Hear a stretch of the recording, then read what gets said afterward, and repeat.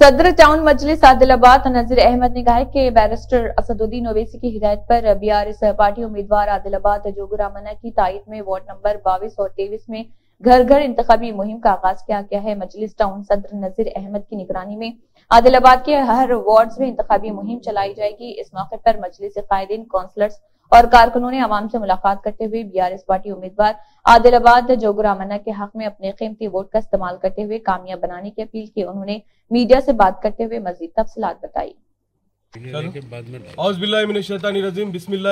सबको जनाब बैरिस्टर असदुद्दीन अवैसी साहब की हिदायत पे आज वार्ड नंबर बाईस तेईस में कैंपेनिंग गई कैंपेनिंग की गई मजलिस इतिहादुलमसलिमिन की जानब से। जनाब जोगी रामन्ना साहब के लिए वोट के लिए वार्ड के लोगों को बेदार किया गया, क्योंकि कांग्रेस और बीजेपी अपने अपने प्रभु घंटे लेकर अपने अपने एजेंडे लेकर खाली पब्लिक को कन्फ्यूज़ कर रही है, जो कि स्टेट में आने वाली नहीं है। आप लोगों को मालूम है, जो कांग्रेस पार्टी आदिलाबाद में आरएसएस पार्टी से आया हुआ है, और सिर्फ़ और सिर्फ़ जहन भटकाने का काम कर रहा है, ना कि कोई काम काम की बात कर रहा है। सिर्फ़ जनाब जोगी रामन्ना साहब के बारे में खिलाफ बोलकर क्या साबित करना चाह रहा है पता नहीं है। आदिलाबाद की अवाम से मेरी गुजारिश है, जो हमेशा की तरह जो पंद्रह साल से जो वोट डालते आ रहे हैं जनाब जोगी रामन्ना साहब को, आज भी आप वही काम कीजिए, क्योंकि कार के निशान को वोट दीजिए, तीस तीस तारीख को जाकर, और सुबह सुबह जाकर वोट डालिए, क्योंकि धूप हो जाती है, धूप का मौसम है, औरतें और बूढ़े बुज़ुर्ग का जो भी है ऑटो का, उसका सबका इंतज़ाम टाइम पे किया जाता है, और आप लोग जाकर सुबह सुबह कार के निशान को वोट डालिए, और आदिलाबाद के हालात आप लोगों के सामने हैं। आदिलाबाद में जो डेवलपमेंट हुआ है, आप लोगों के सामने है। रोड्स, ड्रेन्स और माइनॉरिटी हॉस्टल, स्कूल आप लोगों ने देखा। पहले तेलंगाना अलग होने से पहले क्या था? अब तेलंगाना अलग होने के बाद गवर्नमेंट टीआरएस की बनने के बाद आज क्या हाल है? आप लोगों ने देखा। और वही पार्टी को, जो पार्टी को अपन हमेशा वोट डालते आ रहे हैं पंद्रह साल से वही पार्टी को अपना कीमती वोट दीजिए, ना कि वोट अपना खराब कीजिए। और दो आज से आज से एक दिन पहले जो जनरल सेक्रेटरी एम पार्टी का मजलिस इतिहादुल मुस्लिम का ये कह रहा है कि हमारे वार्ड में डेवलपमेंट नहीं है।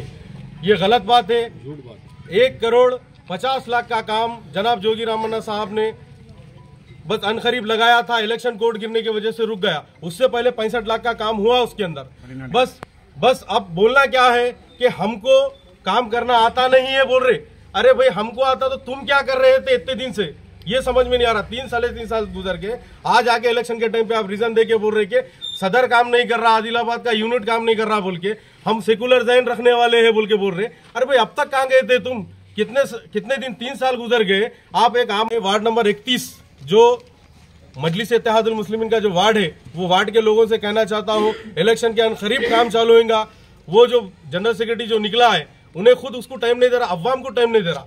अवाम को क्या टाइम नहीं दे रहा? सुबह रात भर घूमता, दिन में आके सुबह सुबह सोता, क्या पब्लिक को टाइम देंगे? मेरे काउंसलर काप्शन मेंबर आधार कार्ड के लिए जब वो उसके पास स्टाम्प और सिग्नेचर के लिए जाते तो मेरे काप्शन और काउंसलर मार के देते। मेरे काउंसलर और ऑप्शन मार के देते। उन्हें उतना टाइम नहीं दे सकता। उन्हें बोल रहा, मेरे को काम करने नहीं दे रहे। अरे, तू काम करेंगे तो काम करने देंगे ना। सोने को, तेरे को, सोने को टाइम बस नहीं हो रहा तेरे पास। तू काम कहाँ कर रहा? और मेरी आदिलाबाद के अवाम से गुजारिश है, कांग्रेस पार्टी से, कांग्रेस पार्टी में जो काम कर रहे हैं, उनसे भी मेरी गुजारिश है।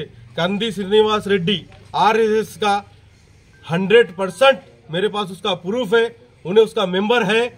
था और है, अभी भी है मेंबर मेरे पास उसका प्रूफ भी है। अगर कंदी श्रीनिवास रेड्डी इसका काउंटर देना चाहे तो मैं हाजिर हूँ। जवाब लेने के लिए फिर उसके बाद इंशाल्लाह मैं भी काउंटर दूँगा आपको। जितने भी आरएसएस के काम कर रहे हैं आदिलाबाद के अंदर, जाकर उससे रोज मिल रहे हैं, कैसा काम करना, क्या मीटिंग चल रही है वो लोगों के। और ये लोग मुसलमानों को आके कन्फ्यूज़ कर रहे हैं कि हम आरएसएस के नहीं है, हम फलाने पार्टी के हैं, फलाने इसके बोल के। गलत बात है, आप आरएसएस पार्टी के और आरएसएस पार्टी का कंदी श्रीनिवास रेड्डी जो भी बोल रहा है कि भाई मुसलमानों को लेकर साथ में चलूँगा। आदिलाबाद में जनरल सेक्रेटरी जो काम नहीं कर सका, उसको ले लिया। उन्हें भी उसका भी शायद मेरे हिसाब से आरएसएस का जहन है। आप लोग देखो पब्लिक डिफेंड करने वाली डिसाइड करने वाली है। मेरी फिर से एक बार गुजारिश है मजलिस इतिहादुल मुस्लिम की तरफ़ से, जनाब जोगी रामाना साहब को वोट डाल के कामयाब कीजिए। जय जोगी रामन्ना। यम पार्टी।